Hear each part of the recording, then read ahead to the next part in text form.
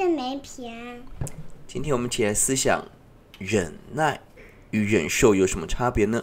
忍耐将带给我们什么祝福呢？雅各书第五章让我们看见忍耐的重要。忍耐与忍受不同，忍耐带来希望。许多时候，忍受是没有明天，是绝望；忍耐带来生命，在最没有指望的地方，因着忍耐带来生命的大能与奇妙。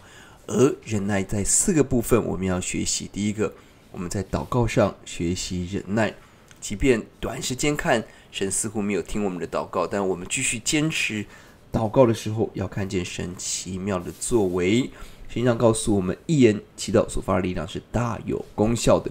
彼此认罪，互相代求，让我们得着医治。第二，我们在传扬福音上要学习忍耐，使迷路的罪人转回，救人灵魂不死，就遮盖许多的罪。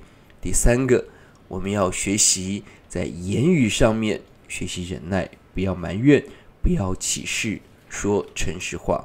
最后，我们要如同农农夫等待出产，得着了春雨秋雨之福。我相信在上帝的时间，神要使一切成为美好。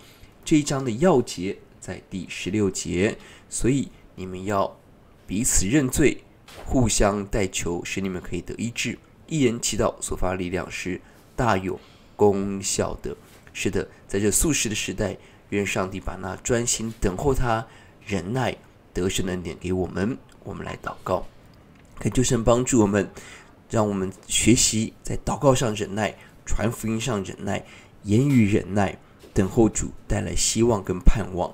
求主教导我们祷告而得胜，奉耶稣的名，阿门。